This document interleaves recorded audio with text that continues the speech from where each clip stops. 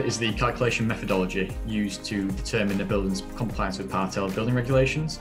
It calculates a building's emission rating, which is the kilograms of CO2 emissions per square metre over a year.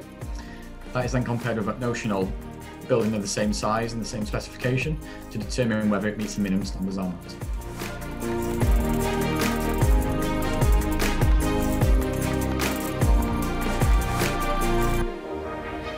SAP 10 is the most current iteration of the SAP calculation methodology. It's going to be introduced with the new building regs, which is hopefully coming in October of this year. It better appreciates the UK's energy mix that currently sits, with over 50% coming from renewable sources, such as solar and wind, as well as the reduction in use of fossil fuels to produce power for the electricity grid in the UK.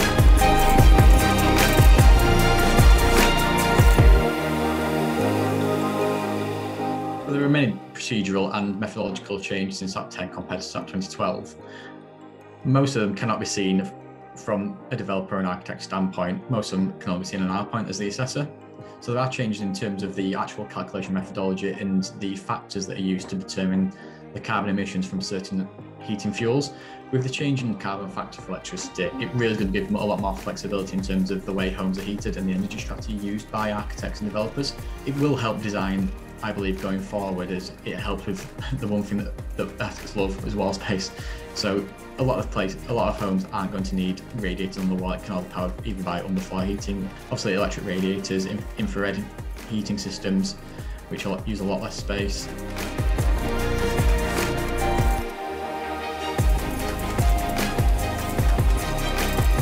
It's the fact that ACDs can no longer be used in SAP calculations. An ACD is a thermal bridge and looks at a certain psi value, which is the amount of heat transferred from a linear point within a building. Emission of these from the SAP calculation methodology, we are going to need to see more bespoke junctions detailed through psi value calculations and other modelling softwares. This is going to take a, massive step forward in terms of the thermal bridging design of homes. It's going to lead to better quality homes going forward in terms of heat tightness and air tightness. It's going to be a massive change, but it's something that is going to need be needed to ensure compliance with Part L building regulations.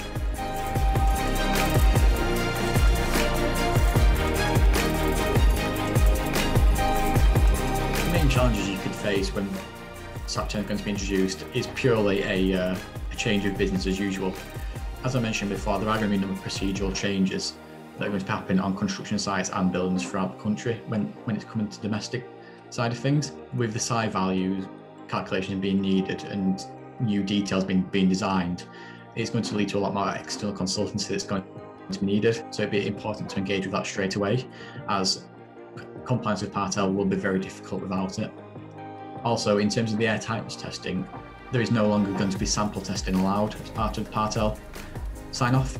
Every home and every unit, whether it's on a, a building site full of 300 houses or a block, of apartments, every unit will have to be tested to ensure build quality and um, air tightness, as well as sound tightness.